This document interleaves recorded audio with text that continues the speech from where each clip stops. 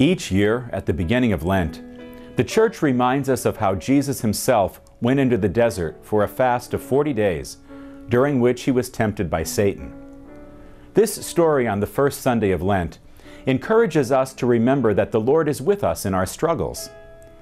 Jesus understands our experiences when we are tempted to sin. He himself underwent the same kind of experience.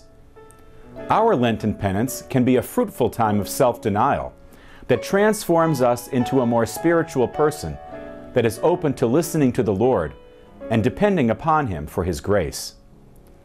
On the first Sunday of the Church's Lent each year, many people of all ages who are preparing to receive baptism at Easter or to complete their initiation into the Church come before the bishop to be accepted for the spiritual journey to the sacraments.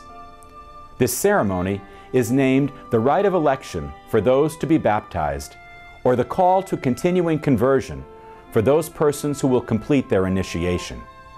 We join all of you in your spiritual journey this Lent, called the period of enlightenment or purification. All Catholics stand ready to join you in undergoing this purification as we journey with you in prayer this Lent. I ask all of you to pray for and encourage all those who will be preparing this Lent for entrance into the church at Easter. May God, who has begun the good work in you, bring it to fulfillment.